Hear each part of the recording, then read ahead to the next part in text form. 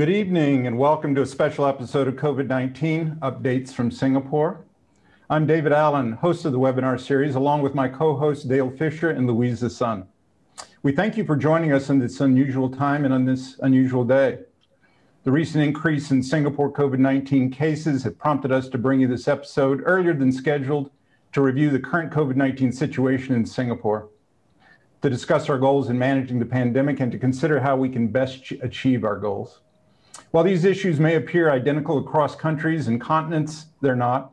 Each country's circumstances are unique. Our knowledge of the virus is evolving, as is the virus, and the tools available for a particular country to intervene differs careful and swift consideration of the measures to be employed, followed by public education as to why those steps were selected, then implementation with subsequent assessment or adjustment of the measures have the greatest chance of assuring success when addressing a change in outbreak circumstances. We are relatively early in this process. Epi this episode is an opportunity to hear from outbreak and public health experts on their views as to where we are, where we're going, and how we can best get there.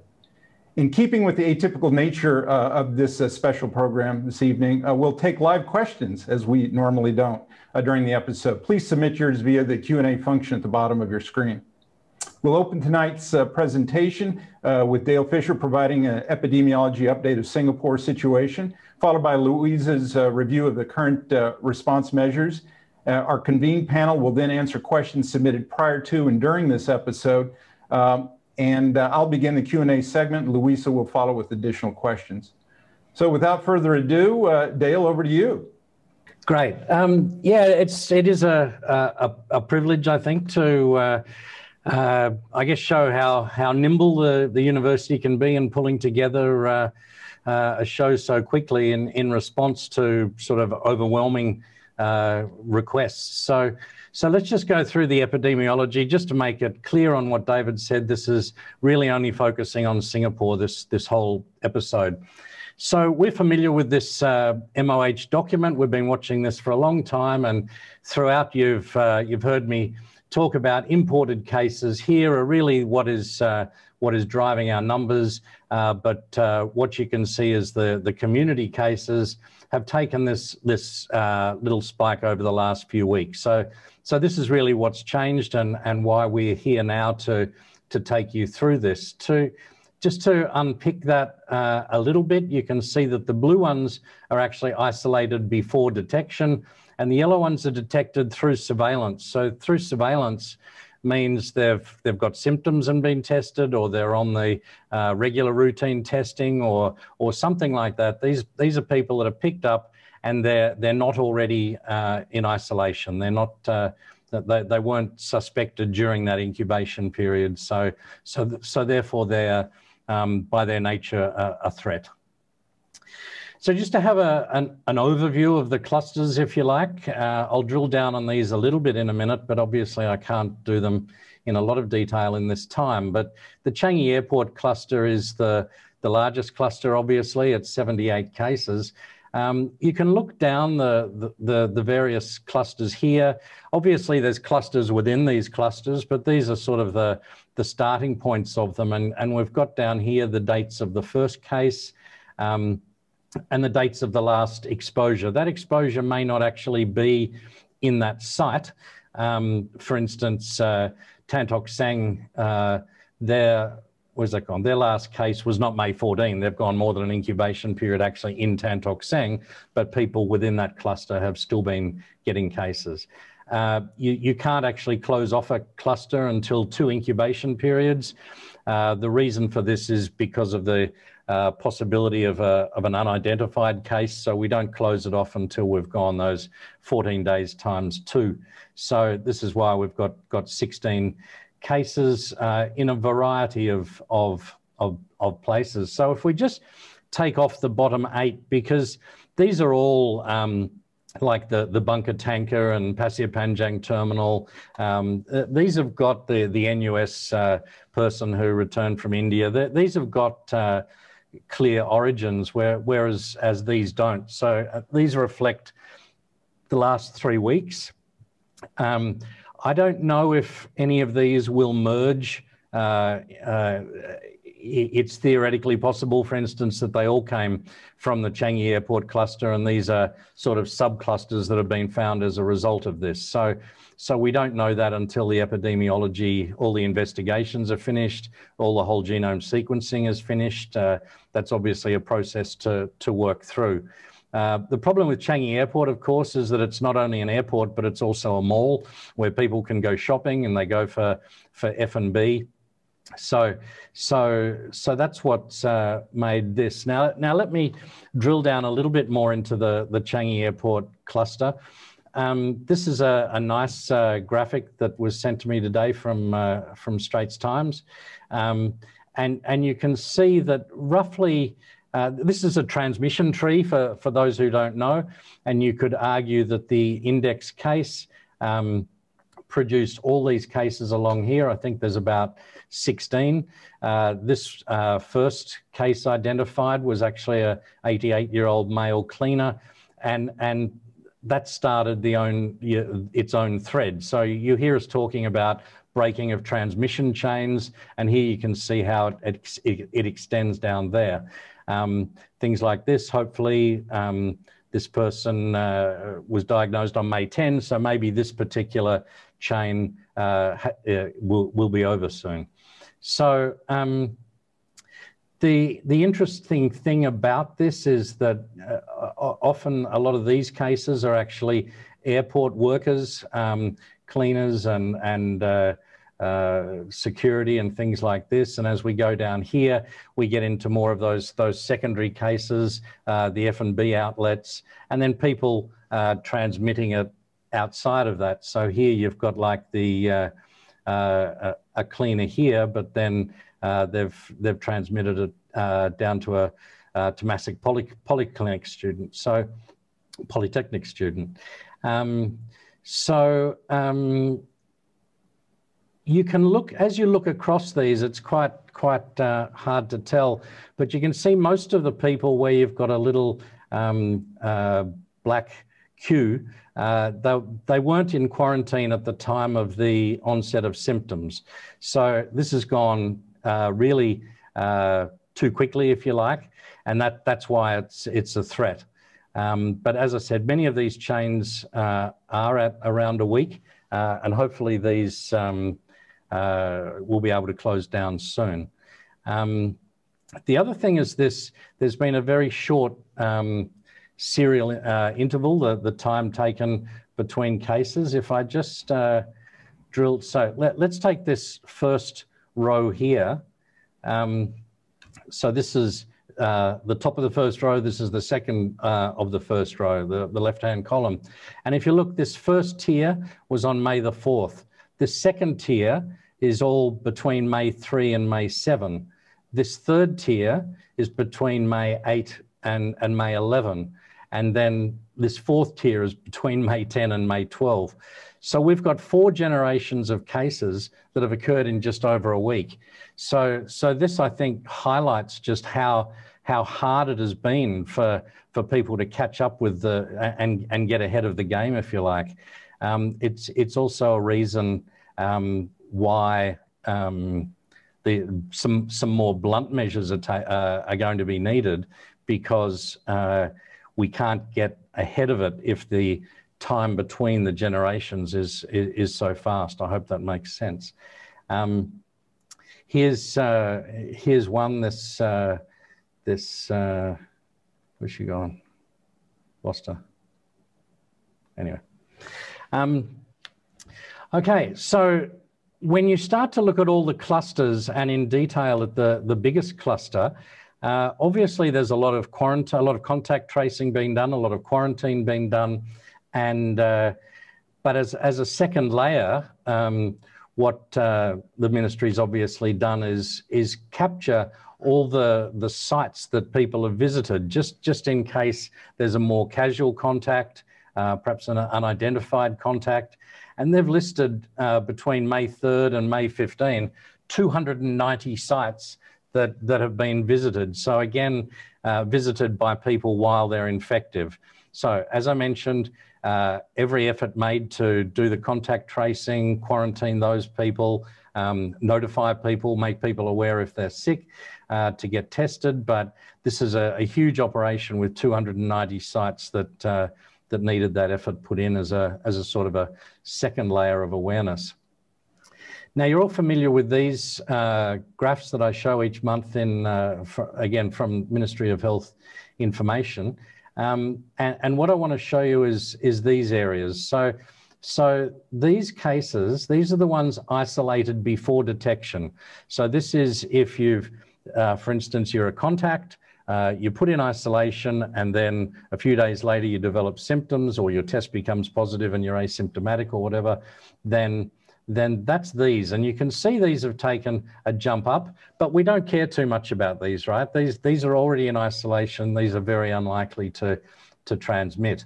These are much more worrying. These are the ones detected through surveillance. As I mentioned, they're the ones that are uh, either presenting with a symptom to their to their family doctor or, or wherever for a swab. Um, they're the ones having uh, uh, rapid uh, routine testing. So there's 71 of these. There's 78 of these. Um, that's uh, 149. I'll come back to that number in a minute. I just wanted to flick back. This is where we were a month ago, right? And you can just see that this is a wall of zero, ones, and twos. And, and uh, uh, this particular uh, uh, fortnight, there were seven cases uh, in, in non isolation instead of what we've got now is about 49, I think I said.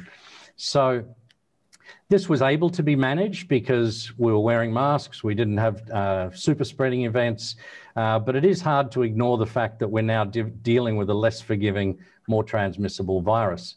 So let me bring it back to that uh, 149. Uh, you remember I said they can also be looked at um, in terms of whether they're linked or unlinked. So the other one was whether they are already isolated or not isolated, but are they linked or unlinked? So now we've got, so sometimes you might be able to identify a case that is in the community and he's routine testing or something, but you actually find he's linked to another case, so so they can be in that as well. But but these community unlinked cases actually are, are, are particularly scary because because we don't know how they got this. Now, sometimes, as in the case of this information, that number was reduced by five because we were able to link five of the people.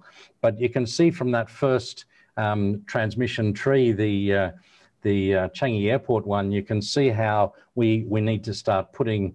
Uh, when I say we, um, our, uh, our, our, ministry colleagues need to be putting together all these cases, linking where we can, uh, and trying to uh, uh, make sure there's no sort of loose threads that uh, that might sort of be appearing in parallel that we don't know about. Okay, so I mentioned quarantine. Um, you can see again since the uh, say well over the last week, the number of people per day uh, being put into quarantine is is skyrocketing as you'd expect. So this is uh, a reflection of the efforts and uh, of the contact tracing teams and those um, implementing their work. Uh, and you can see here the number of total people in quarantine is about seven and a half thousand now. This is uh, this is apart from travellers, of course. Now, let's go back a month. So these are the May ones, these are the April ones. You can see we're looking 200, 400, as opposed to sort of 800, 1100 over here. So it's two or three times as high. And again, the total number of people in quarantine uh, here is three and a half versus 7,000. So it's, it's double the number. So all this is happening behind the scenes to, to stop these, these chains of transmission. Uh, so what's happening uh, in Singapore at the moment? Uh, the numbers um, not too bad. I mean, there's there's three in ICU, which is high for us at the moment a uh, couple of hundred uh, in the general wards and 246 in care facilities. Uh, there's been one death in, in, in the, re the recent weeks. I just wanted to, to show this by way of comparison that uh, you can look at the uh, a month ago, the number of cases in the general wards was, was in the 60s. So we've got triple the number of people in hospital uh, and about the same number in, in care facilities. Um, and one death death difference. So I'm trying to paint a, a picture here of, of something that we've got a good idea of, but not a complete idea of. It is starting to have an impact in, uh, in, in hospital beds, but not uh, obviously overwhelming yet. Um, and that's, that's where we are. David. Great, Dale. Thank you. Very thorough and uh, insightful as always. Um, Louisa, uh, would you mind bringing us up to date regarding uh, the measures uh, being put in place to uh, address uh, what's Dale, what Dale's describing? Yes, and good sure. evening. Gladly. Good evening. Good evening, everyone who's joined us. Okay, let me just slide my slides. Okay, so this is actually a real screenshot from my phone, and I think that this is what a lot of us have been familiar with. Um, but it seems that probably everything has just been happening in a bit of a whirlwind um, in the last month. So before we enter the really juicy part of today's uh, webinar, I'm just going to take a few minutes to break down and remind us of what the major changes have been and who they have affected. So starting with our healthcare institutions and our healthcare workers, um, the first is that um, there was a heightened screening protocol, which additionally included uh, one of our hospitals, Tan Tock Seng, the inpatient areas. But thankfully, um, that outbreak was actually very swiftly um, and effectively controlled. So this is uh, has just been removed uh, yesterday. Um, and the next thing is that actually that affects all healthcare workers and anyone who's actually uh, been in a hospital for a significant amount of time and worked there, is that uh, everyone is required now to undergo rostered routine testing. There has been a one-time sweep done for everyone, and subsequently, all patient-facing staff will need to continue with um, their rostered testing. So now, yes, all of us know what it feels like to have a nasopharyngeal or oropharyngeal or a combination of both swabs. Yeah. So now uh, the first week is due for completion soon though. Um, and additionally, um, there's actually also been an enhanced PPE guidance that was just released from MOH. This now necessitates um, all of our uh, patient funding staff in inpatient areas to actually wear an N95 respirator mask instead of um, just a surgical mask. Um, so this is something that I was particularly curious about, and I'm hoping that we'll have some time to um, explore this later. So now moving on to our patients. So now all patients who are admitted to the hospital will get a screening COVID swab. Now this is a bit different from those who are admitted with, um, uh, who are suspect cases or who are admitted with symptoms that are uh, suggestive or they need to be evaluated for COVID. So this is for all patients who are admitted for any reasons um, apart from evaluation of COVID-19. All of them on admission to the hospitals, they will get one um, COVID PCR swab, and we call this um, enhanced surveillance. So the other um, uh, the other uh, the other aspect that is different for patients now is that actually, so the suspect cases who present with um, any acute respiratory infection symptoms, they will actually undergo a rapid antigen test on top of the um, SARS-CoV-2 PCR. And I think this is a lot just to take away the conveyance time that happens because a patient or a PUQ, uh, patient who is under quarantine or is under stay-home notice who has symptoms, sometimes will come to the EDs or go to our polyclinics, they will get swabbed and perhaps be sent back first and wait for the uh, PCR results. So that turnaround time can be very much shortened. And these are high risk patients. So we can successfully catch a proportion of them who are already positive and isolate them immediately while we're doing confirmatory tests. So this actually saves us a lot of time in between as well. So lastly, this is for our general public and also for the travelers who are coming in. Um, these are some of the major adjustments that have been made um, on travel entry as well as our safe management measures in the country. So for travel restrictions, a travel ban for India was actually imposed uh, on the 22nd of April. And a little more than a week later, on the 30th, um, the borders were further, further tightened uh, for entry from uh, countries uh, Bangladesh, Nepal, Pakistan, as well as uh, Sri Lanka. And uh, stricter post-quarantine uh, rules were also applied uh, to those who returned from Thailand. And a few more days later, on the 4th of May, travel screening was actually further extended to uh, 21 days prior to arrival rather than the previous 14 that we screened for. And on the 7th of May, to further control the borders, work pass holders uh, who had to obtained prior approval to come in had also had their entry dates postponed. And lastly, on 13th May, we saw further tightening uh, of quarantine rules. So now in the community wise, uh, we began with the closure of our outdoor barbecue pits on the 30th of April. Um, this is to prevent large gatherings as well as what this is known as a mask off activity. So people are likely to be eating uh, with their masks off uh, for a substantial period of time. So, and then barely a week after this, we then entered the phase, uh, the heightened alert of uh, phase three, actually, uh, where, the, where further safe management measures were implemented that affected uh, both social activities, uh, workplace rules, as well as indoor and outdoor exercises. And then uh, subsequently, a few days later, um, the start date for the mandatory use of our Trace Together app, which is a contact tracing app, was actually announced to be moved forward. And this would help our MOH contact tracers um, to swiftly identify the contacts of any positive cases cases. And now finally, this is the phase that we're actually in now since Monday. Um, there was a phase two heightened alert that was issued. And so most notably in this, uh, social outings, household visitors are now only restricted to two persons down from five and down from the previous eight in phase two. And our F&B outlets are actually no longer open for dine-ins. And of course, several outdoor and indoor event sizes are to be scaled down. So I think it's a time that is um, filled with anxiety and uncertainty as we all try to hunker down again. And we have many questions and uh, maybe even our own theories and about what exactly led us, um, you know, to where we are today. So without further ado, I will hand uh, ado, I will hand you over to Prof. Dale uh, and uh, Prof. David Allen, sorry, Prof. David Allen, as well as our panel of experts who will try to address all your questions um, and hopefully debunk some of the theories that are actually rumors in disguise at the moment. Great, Louisa. Thank you so much. Um, and uh, let me remind everybody, uh, the viewers, to uh, submit your questions uh, through the Q&A uh, uh, button at the bottom, and you can designate who you'd like to answer it amongst the panelists, and we'd very much appreciate that. We'll try to get to as many as we can. Um, it, uh, our eminent uh, panel tonight includes uh, Prof. Wai Teo, who's the Dean of the Saw Swee Hock uh, School of Public Health at the National University of Singapore, and he's founding director of the school's Center for Health Services and Policy Research.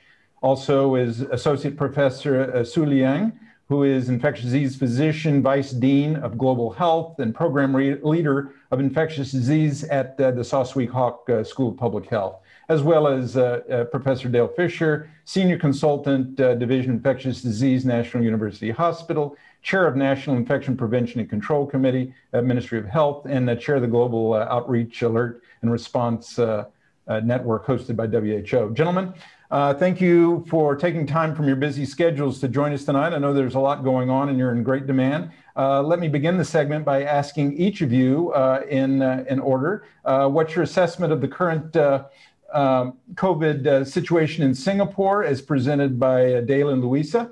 Uh, and uh, uh, we'll take it from there. Li Yang, would you lead us off?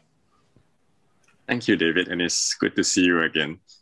I think our assessments are unavoidably colored by the interventions that are rolled out by the government in quick succession, as well as the messages in the media, including the views of experts like um, yourself and Dale um, objectively, I think we are worse off compared to January this year, but still, we are definitely better off compared to April and May last year, even taking into account the fact that we are dealing with a much more transmissible variant of concern. Over to you. Can I ask you quickly? You, how do we know it's more transmissible? I think there's a lot of evidence coming out of um, UK um, as well as in other parts of the world, definitely in India, where he has replaced all the other variants, um, including UK and South, Af South African variants. Dale, what's your assessment? Um, I just realized I forgot to give kudos to all the uh, the people who provided the data that uh, that I just gave. You've got to remember if for, for all the surging that we're all doing clinically and and in media or whatever, then uh, then the, the same things are happening there. But what, what I'm seeing is a is um, incredible efforts to really create a uh, as well a nuanced response as possible. Um, uh, certainly, many other countries would have just shut down by now. Um, but what Singapore is doing is trying to maximise the, the the capacities of the of the public health response and build in social restrictions that I, ideally have got the least social and economic impact uh, at this stage. So, so that's the aim. We, we need to be looking at the, the cases, not just the, the cases, but the, the hospitalizations, the ICUs, the deaths, they're, they're, they're what matter because, because cases don't quite mean what they meant uh, pre-vaccination. We've got 32% of people have had the first jab and they're not going to get severe disease. So, so it is a slightly different consideration. Hmm, great. Why, why? Well, thanks, David. And it's a pleasure to be on, on this. So my assessment is that it's quite worrying. And I think it comes back to what Dale shared earlier on in terms of the speed and the diversity of the spread this time round. Because what we are seeing this time round is that we are able to generate four generations of outbreaks from a, a, a single case within a period of less than 10 days. And that speed, it's frightening. And clearly, because it stems from a very public place such as the airport, it is now penetrating into different parts of the community. And I think that is why I assess this to be very worrying. The response, as what Dale has mentioned, actually has been calibrated at really targeting the areas that are deemed to be high risk, including activities that are high risk. And, and we have seen that this ban on dining in, at least for the next four weeks, is really to minimize situation where people will be mingling in public spaces with their mask off. And from the very beginning, we know that some of these activities are extremely risky and I think that's where our response have been targeting. Over back to you, David. I think the interesting thing to me is the uniformity in in realization of how serious this situation is, and the acceptance, uh, the people, the the population, and the professionals uh, of recognizing how serious it is, and and doing their uh, their deeds to to protect themselves and protect others. So it's it's a fascinating uh, um, eye-opening experience. Okay, well, thank you. Um, let's move to the next question. What, in your opinion, uh, and this is your opinion, uh, should be Singapore's goals for managing COVID-19? Zero tolerance or adapting to a SARS-CoV-2 as an endemic pathogen, something that we're going to adapt to and live with. Uh, Dale, lead us off. So yeah, this builds on from the first question. We, I believe by now we would have a circuit breaker in place uh, if there was no vaccine. Now, because it's just hard to see how we can get on top of this, but knowing that that we've got a, a you know moderately high vaccination rate at 32% first jab now, that is a game changer. Uh, if if we think of the endpoint, the the endpoint of this pandemic is going to be endemic disease circulating fairly freely, uh, although probably with some modifications in protecting vulnerable sites such as hospitals and nursing homes. But, um, but we're going to need high levels of, of vaccination, which will reduce COVID to a fairly mild disease which can circulate around. Now, at what point do we do we say we're okay for the circulation? Obviously, at 30%, um, we're not there yet. Um, but but there does come a point where where we need to um, traverse, and, and we're traversing now. So, so I think um, I, I, think the goal is to live with the virus. Don't um, don't lock down because lockdowns are not going to be a, a, a long-term solution, and one day it'll we'll just be living with it. So let's uh, try and control it while we while we get people vaccinated. Not that this is part of the uh, issue tonight, but what do you think about countries who are still striving for zero tolerance? Uh, I think they've got to uh, a lot of work to do with their communities to, to help them understand that they're heading for an endemic disease uh, and they have to transition there and, and eventually accept cases and clusters. YY? How do you think we're going to uh, get the population to accept the possibility of, or the probability of uh, this being an endemic pathogen? Are we close? Are we far? Well, I'll, I'll, touch on that in a bit, David, but I, I, would like to touch on this point that you mentioned the zero tolerance strategy because mm. I think when countries rely on a zero tolerance strategy, ultimately they are relying on extremely strict border control measures to the point that they are blocking almost all travelers into the country. And, and by doing that, there is this artificial sense of stability and safety that is essentially created by this bubble of of no travelers coming in. But that zero tolerance, or, or rather, that complete closures of the borders cannot last long for most countries. And there is also a secondary impact, which WHO have highlighted from the very beginning that you could close your borders, but it cannot be the only response that is put in place. That you have to put in place other public health measures, of which vaccination is one very crucial measure. But you have to put in place all these other measures as well, because the reality is that the moment you gently relax some of your border control measures, you're going to see importations into a community, a population which is not very well mentally prepared to deal with an outbreak. And I think that actually is going to be very harmful in the long term. And Singapore, unfortunately, will not have the wealth of resources and manpower, such as China, Australia, and New Zealand, to actually adopt a zero tolerance strategy.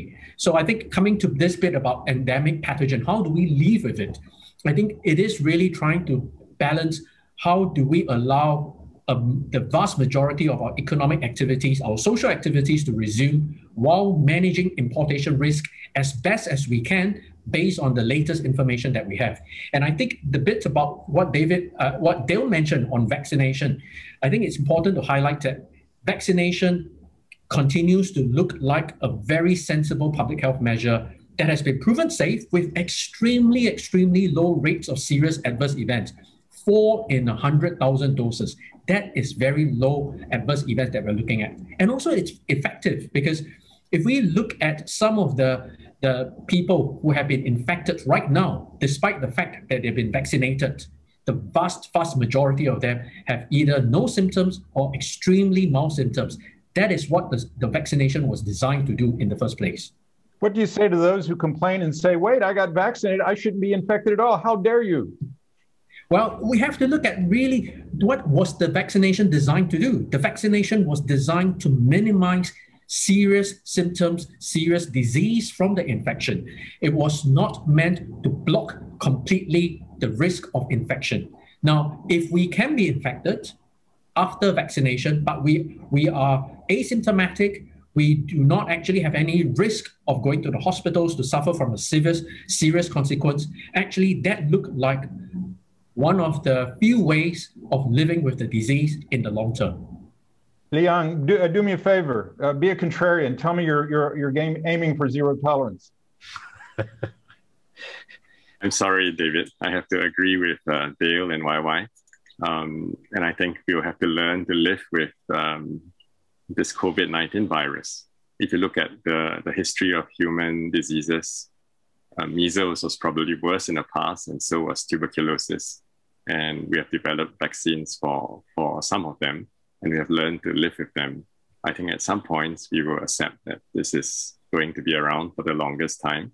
Um, we will vaccinate as many people as we can, and we will see whether that's an acceptable price to, to pay for, for is, living with it. Is that, a, and I apologize for interrupting, but is that a discussion we have to have? Is that there is going to be a price? There is going to be um, an economic price. Uh, uh, there's going to be a, a cost of a finite loss of life uh, price of living with the, the virus. Yes, I think this has been the threat undergoing all the different announcements um, and the interventions coming in.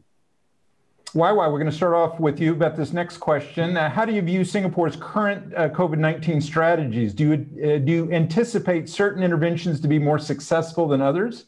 Are there modifica- uh, modifications you would make? Again, I know you're not setting policy. You're just uh, a expert uh, uh pontificating. so, from the very beginning, I think we have all acknowledged that the risk of COVID 19 is going to come from the borders. When travelers come into the country, they bring with them uh, the infection that is going to spill over to the community. So Singapore has always adopted a risk-based approach when it comes to border controls, where we have quarantine, we have different levels of repeated testing to ensure that our measures at for border controls actually mop up almost all the infected travelers. There will be the occasional spillovers into the, the community, and we, we accept that. We, we know about that. And, and increasingly, this is looking like because incubation periods may be longer than the quarantine period of 14 days initially. Now we have, of course, 21 days quarantine. Or we could also have spillovers from frontline workers at the airport or at hotels, some of these quarantine facilities, they themselves being infected. And this is why all along, from ever since Singapore's situation improved, they'll talk about months of zeros and ones. Personal and community measures were never entirely lifted. And I do worry when I see jurisdiction now talking about not going with masks and increasing the amount of social activities that's permitted. But I think despite the fact that we have long stretches of zero community cases, we never really lift measures that are meant to protect individuals and protect the community because we know that as, as long as there are people moving in and out of Singapore, which we have to, we accept that there will be some spillovers. And that's where contact tracing, isolation, testing protocols that have worked very well for the past one year continues to work. And right now, what Dale has highlighted in his initial introduction suggests that we need to change our strategy around contact tracing, around border controls, because the game has changed.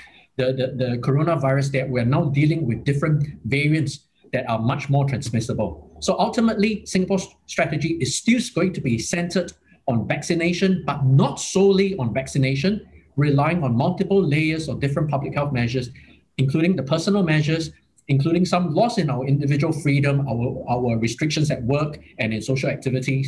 But on the whole, there are multiple layers that will work together to protect individuals and the community. Uh, Li Yang, um, there are there interventions you think are going to be more successful? Would you want to make some changes? I think it's easy to, to second guess um, strategies and interventions, but it's actually impossible to go back in time to, to redo them over again. And also, when we talk about um, the success of strategies, we often mean the direct effects of reducing transmission, but we are quite bad at evaluating the indirect effects. Having said all that, I think um, if you look at closing schools, for instance, it's more precautionary than effective. Um, we'll touch on RRT by healthcare workers. Again, I think this is going to come down quite low on the cost effectiveness scale, but they're done for different reasons other than cost effectiveness. Dale?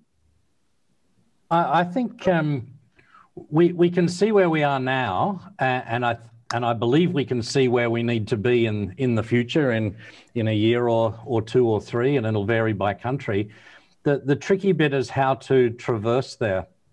I, I don't think many people would say do less now.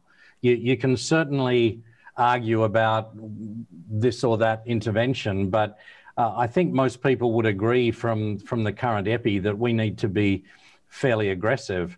What I'm pleased about, though, is that we're not doing a lockdown because to me that is is is like saying, um, you know, we, we can't do it. Uh, virus wins. Um, as I say, if 30% of the population was more vulnerable, uh, I might be a bit more nervous. And and indeed, if the hospitals start to fill up, um, be, because we're really seeing, you know, there's a threat of being overwhelmed, then again, you'd have to you'd have to look at a lockdown. But at, at the moment, the strategy of of, of nuancing uh, various interventions in different settings, uh, I think is smart.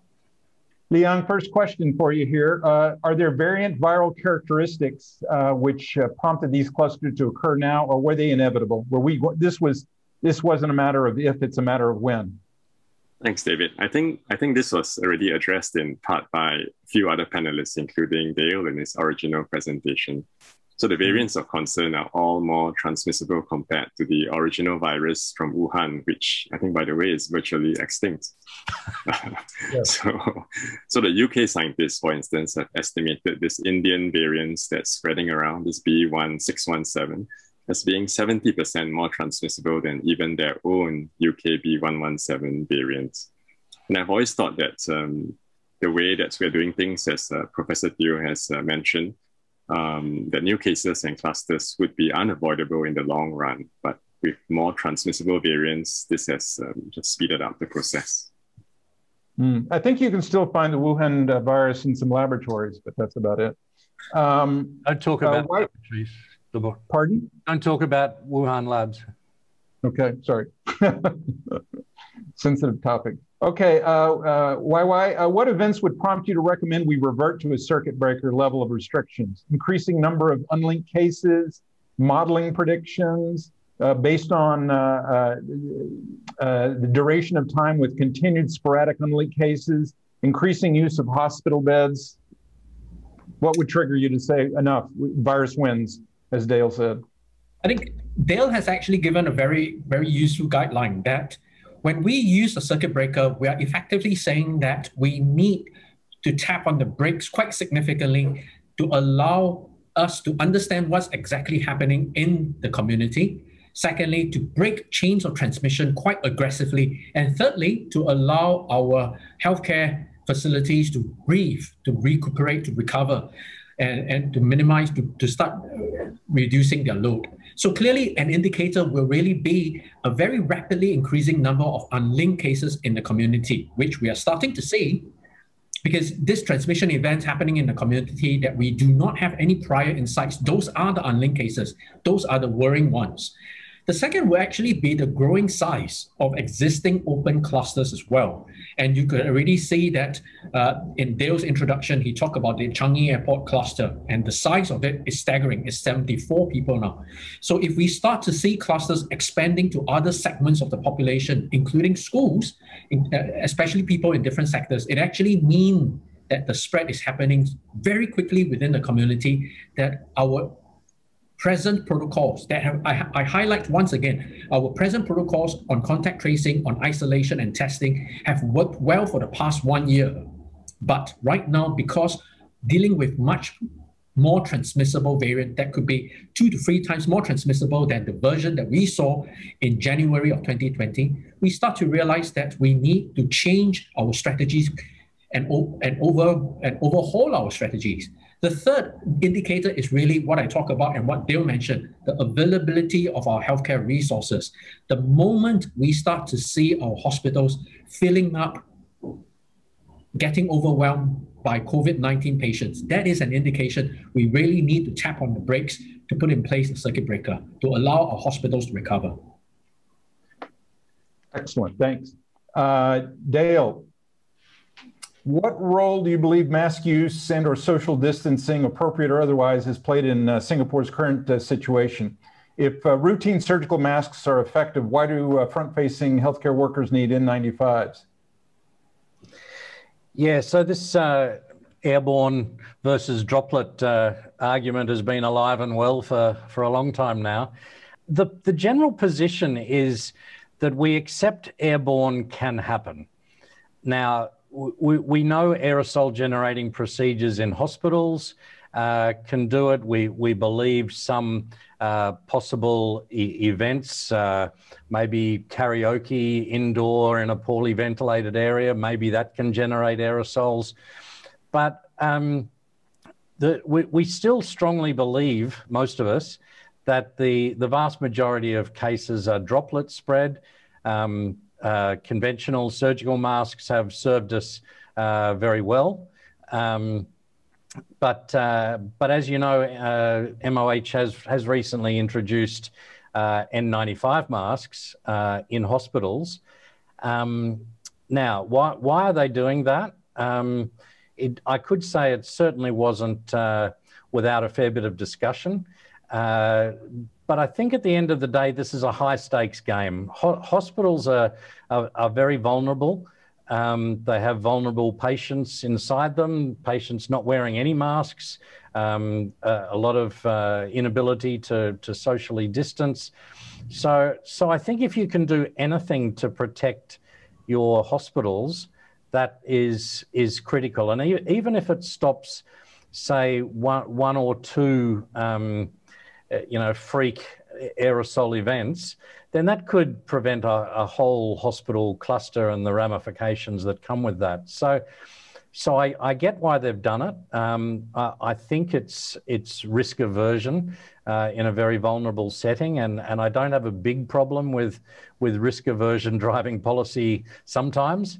Um, and uh, and also, this is for a time period. This is a time period while we we learn a bit more about this uh, uh, B1617. It's, uh, it, it's maybe we will learn. I, I, would say it, it would be very unusual for any organism to change its its mode of transmission. So so it would be more about the fact that if if if aerosol was slightly possible before to cause infection, then because it's more infective, then it's slightly more possible now. So so I, I think that's the perspective I would give it all.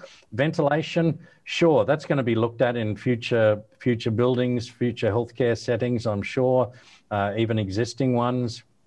People are looking now. Can we can we open more windows or something? So so there is a good emph emphasis on on uh, ventilation as well. I hope that covers a lot of the questions. I know the CDC, U.S. CDC, tried to get out of this. Uh, this issue of discussing droplets and airborne and just chat uh, as if as the fluid dynamics people saying it's a continuum. There's we shouldn't be using droplets and airbornes. It's conceptually not right. Uh, dale does does the vaccination status of the person wearing the mask does that matter which mask you're comfortable with? Would you be more comfortable with the, would you be comfortable with the, uh, uh just a surgical mask if you've been vaccinated and an n95 if you hadn't?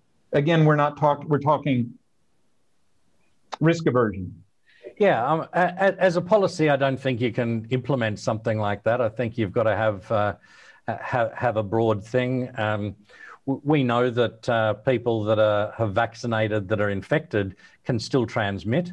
Um, we believe it's they're less likely to transmit, but uh, yeah, it's all it's not it's not uh, it's it's not binary. I think they'd have a lower risk, but I wouldn't introduce that into a policy.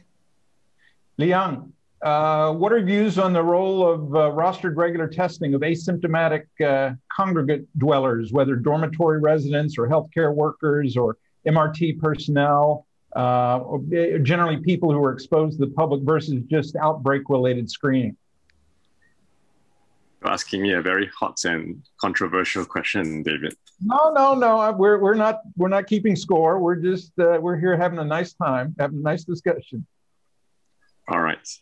Well, I think um, rostered routine testing or RRT is part and parcel of the overall COVID 19 strategy. If you're thinking or if you're aiming at a suppression strategy that looks actually very much like an elimination strategy in many parts of the world, right? Personally, I do not see RRT as a viable long term strategy for most groups of workers because of its tremendous costs, uh, inconvenience, and low yield um, but particularly in sectors where most of the workers have either been vaccinated or infected.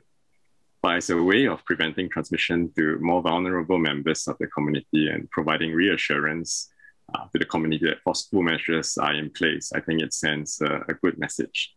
Um, as I said, long term, um, probably we will not be able to sustain it, but we will have to bear with it for the time being would you have an in-between position where you say instead of uh, doing the uh, PCR, the nasopharyngeal or the mid-turbinate uh, oral pharynx, that you would use a uh, an antigen detection uh, collected by a different uh, modality with a lesser sensitivity, or is that just either do it or you don't?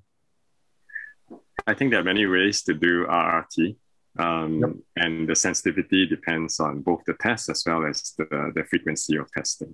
Right? So I'm not in against any form of uh, testing in that sense. Gotcha. I won't. I won't press you further. All right. I, I why? Why? I wouldn't mind seeing RRT a bit more nuanced as well. I don't think uh, uh, if you have it for one particular sector, it necessarily has to be across the board. If that particular sector is a is a different risk or has been repeatedly negative, for instance. But are, are healthcare workers, just to play devil's advocate, are they not? Uh, uh, interfacing with a very vulnerable population. Generally, they're older, less likely to have a response to the vaccine, much more likely to have morbidity if they became infected. Uh, yeah, but they're they're also vaccinated, so yeah, there, there's there's pros and cons to to all of this. But really, the uh, until recently there'd been ho- no hospital clusters. Um, there's there's proficient um, PPE wearing. Um, so so I think where there's no suspicion, you've done a sweep. Um, I think there's an argument for, for not, it's, it's extremely disruptive to health services actually to, to, to have to swab all your staff. Um, you, you, discover false positives. Um, I'm just saying there's a, there's, there's a downside to doing this uh, repeatedly. As, as yep. Li Yang says, it's, it's, it's difficult to sustain.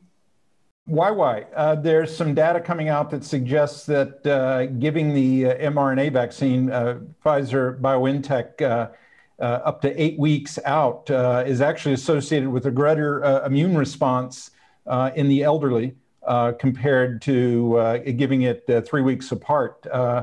if we were to revert to or convert to a less frequent schedule, would that mean we should uh, give us an opportunity to roll out the vaccine to a greater uh, percentage of people ASAP? Yes, definitely, David, because I think this is very much in line with the responses to COVID 19 throughout the whole pandemic.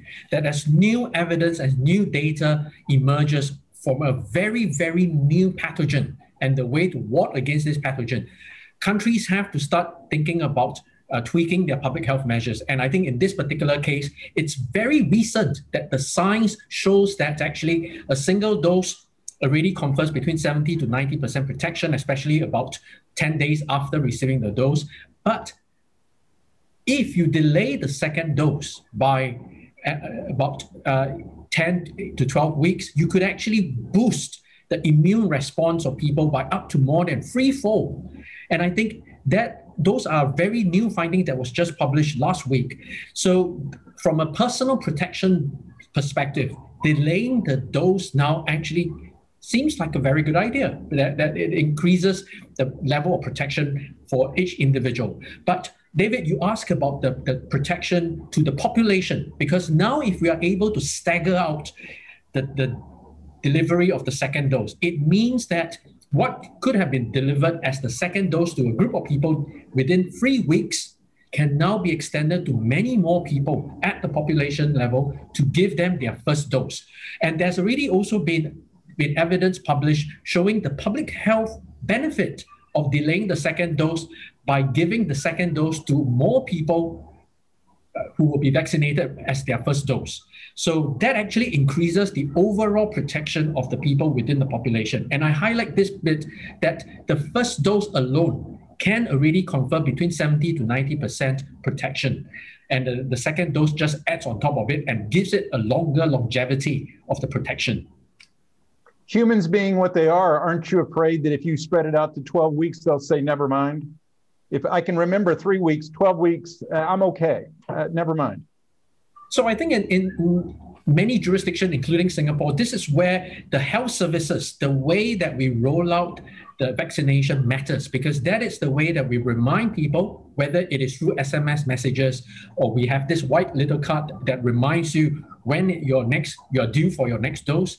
Those actually help active to remind people actively to come forward for their vaccination for their second dose. And in fact, a webinar like this also reiterates the importance of vaccination. So I think we have enough media, social media, traditional media advocating the need to keep up with the vaccination that I don't think that people in Singapore at least will will see that hesitancy to take up the second dose. Yep, very well said. Uh, Dale, you and I deal with a lot of vulnerable people in the hospital. Um, do we not owe it to them to be vaccinated? Should vaccination be for healthcare workers be mandatory uh, versus uh, voluntary but strongly encouraged? So the bottom line is we want people vaccinated, uh, and there's two ways to do that. I think is is coercion uh, with uh, education, appealing to their their sense of uh, of science or or community or whatever. Uh, and the alternative is um, is actually just to mandate it. Um, uh, I think as a human science, you're much better off. You, will get along with with any adult better if if they've made the decision themselves than if you've told them what to do. And and and I can tell you there is so much buy-in required for this outbreak uh, response. That's this prolonged outbreak break response um, vaccine is only part of the buy-in, so so I, I, I would much rather see what we're doing now, which is which is working with people uh, to get to the to the end point we need to get to. Um, and and at the end of the day, when people realise that that uh, we're allowing the the virus to run, then they'll realise that uh, that their risk of not having the vaccine is that they're the ones at risk of severe disease. Mm. Can I just flip this around, uh, David, and, and ask maybe one way of doing it instead of making it mandatory is to loosen the, the criteria for vaccinating. I know there are lots of healthcare workers and, and members of the public who want to be vaccinated, but they're prevented because they had anaphylaxis to a bee sting or, or are pregnant or, or something like that, right? If we loosen the restrictions more in line with what's going on in other parts of the world, then you could get a higher vaccination uptake as well. So there's there's certainly uh, again risk aversion. I'm using that term a lot today. There's certainly risk aversion in the vaccination clinics. Um, it's easier to say no than take the risk of having a big problem, and and this is one reason we've we've opened up. Uh, vaccine clinics in hospitals so it can be done in a more supervised way so i, I think uh, i think what you'll find uh, I, I believe every uh, acute hospital has such a clinic. I'm, I'm not sure on that, but I believe so. Um, and and if, if such people want a vaccine and they've been rejected, then hopefully they can go to the hospital and get one. I think there's also the issue in the world, there's a finite amount of vaccine available. Uh, and each country has a finite amount and is quickly trying to sort out how best to allocate it. Um, so it's it's not as if there's a, an infinite supply. So that that factors into how quickly we get to whom uh, and whomever. Li Yang, uh, vaccinated people have, with measurable neutralizing antibody can become infected. We know that. They, they have mild infection, but can they be a vector? Can they infect others? This question, I don't think, has been answered completely, but I think the answer is definitely yes. I say this because I think UK investigators recently published a study where they looked at um, infection rates in households of uh, healthcare workers who have been vaccinated and those who haven't been vaccinated. And they found that while the infection rates in households of those that have been vaccinated did drop, um, it did not drop significantly enough to rule out the possibility that those who are vaccinated can transmit uh, the virus to them. And I think as infectious disease doctors, um, basically we accept that anyone who can be infected can potentially transmit the, the virus. The, the key point is that um, vaccination does reduce transmission of the virus as well. So it's not zero, but it is um, uh, much better than someone who hasn't been vaccinated. Thank you. Well, well stated. Very well stated. YY you get the question uh, that everybody wants answered, and that's uh, uh in your opinion, is home based learning a key component to achieving our pandemic goals? Sorry. Thanks very much, David. But but maybe before I touch on that question, I could touch on something that has just been announced in Singapore, which is the vaccination with the Pfizer BioNTech vaccine to children between the age of 12 and 16. And I Excellent. think it's important to highlight that again, we have seen new evidence in terms of the safety factor of this vaccine for young children. I, I, do see it in some of the questions that are coming through. Is the vaccine gen- genuinely safe for children to take? And I think as a parent myself, that is a question that I'm, I'm I will be deeply concerned with. And I think it's important to highlight that Pfizer's study about 2,200 children in and, and actually look at the effectiveness of the vaccine in this group of children. And of the 1,000 over children who received the vaccine, none of them actually were infected. So it meant that loosely that the effectiveness was actually 100%. And the safety was also very, very clear that it was very safe for children between the age of 12 and 15. So vaccination as a strategy, it's going to be a very viable one. And in fact, uh, just last week on the 10th of May, the US FDA actually re- announced and approved the use of the Pfizer BioNTech vaccine for children between the age of 12 and 15. So I think that's an important point because even though it's obliquely related to your question, David, on home based learning, I'm, I'm trying to differ a little bit. Let me but I think coming back to this home based learning, as with any closures, and in this case, we're talking about school closures, really it is meant to buy time to figure out what is the situation. And the situation that I'm talking about here is the infection that children can get, perhaps with this variant B1617 variant that we're talking about, that children are now more susceptible, more likely to be infected with this variant. And they may perhaps even be passing this on amongst uh, to other children, whether it is in school buses or in the school. And I think the closures are meant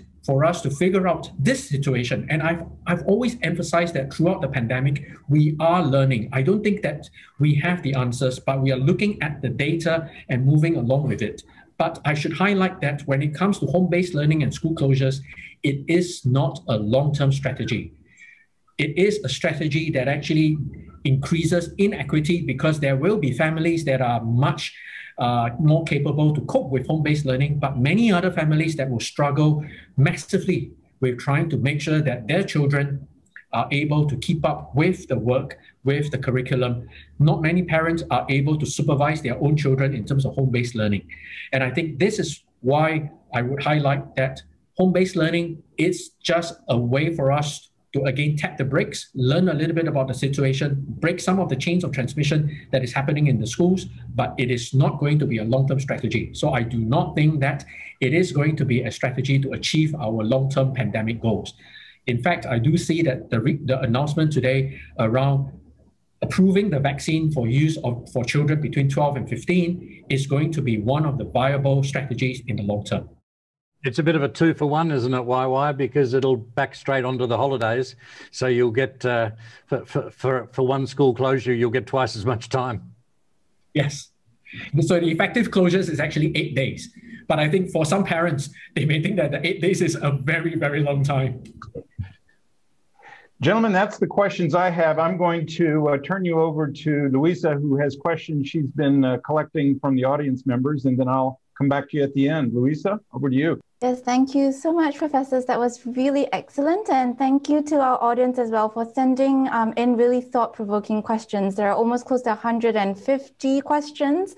We're not going to get through that, but I do believe that about the good thing is about 90% of them have actually already been covered um, during the panelist discussion, which just tells us that Prof. David Allen is probably secretly reading all of your minds. but um, a lot of people have actually picked up um, on the CDC recommendations uh, for demasking. Uh, and that was also actually about 50% of our pre-submitted questions. So I'd just like to highlight that Professor Teo has actually given a very nice response as to why this is not likely to be suitable um, in the near future or even possibly beyond in Singapore's setting. So some of the interesting questions that we haven't been uh, had haven't had a chance to cover so far. One of them is Will home based testing be a likely strategy introduced into Singapore at any point? I, I think we are not going to be, I hope we don't reach the stage where we issue out kits to households and ask them to test themselves. Um, but I do see that this is an option for a more sustainable RRT. Um, for healthcare workers, for instance, if you could do a swab at home or if you could collect saliva at home and send that in, that's certainly much better than queuing up in a line waiting to be swabbed when it's your turn, right? And we can extend some of these to uh, the other groups of workers that need RRT as well. I would second that too. and um, there was an interesting question that um, this is more than one audience member who has asked is that now that we uh, have vaccinated individuals who are much less symptomatic or are even asymptomatic, how do we handle these uh, individuals uh, being a possible silent transmitter of um, the disease? And uh, I feel like there might be a simple math question in there somewhere, but I will leave it to the experts to try and figure that out for us. I think this is the this is this transit that I was talking about before. Obviously, we'd be very keen to keep our numbers low by identifying all these people, but in, in a year or two, or whenever we we, we think is the time, or or maybe early next year, um, with, with a, a high number of the people vaccinated, then we will care less about cases and clusters because we know it's not translating into severe disease. So, so the vaccine turns this into a mild disease. This is the, the whole point. So the, the tricky part is the transition to where we really care about cases like six months ago to where we still quite care about cases like now to, to where in the future where we're not going to be monitoring every case and, and putting out daily sit reps and things like that perhaps just to add a little bit to what Dale has mentioned, and I think this is really why we keep highlighting, and not just we, but WHO has been highlighting throughout that while countries are rolling out their vaccination, they have to keep up with the rest of the public health measures. And it, it doesn't mean that the moment that you've been vaccinated, you can go about maskless and then you start to lift a lot of the social restrictions. Because the reality is that there will be other people who have not been vaccinated. And yet, at the same time, some of these vaccinated people could be infected, could be asymptomatic without realizing it, and going around spreading it to people who have yet to be vaccinated. So, this transition that they'll talk about, it's a very important one.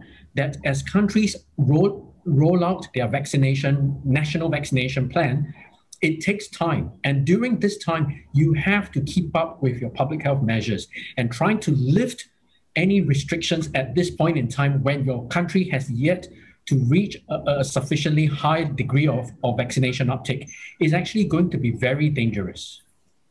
Thank you very much, Prof. Very well said. And I think that that is a message that actually we've also tried to highlight um, in all our webinar series so far.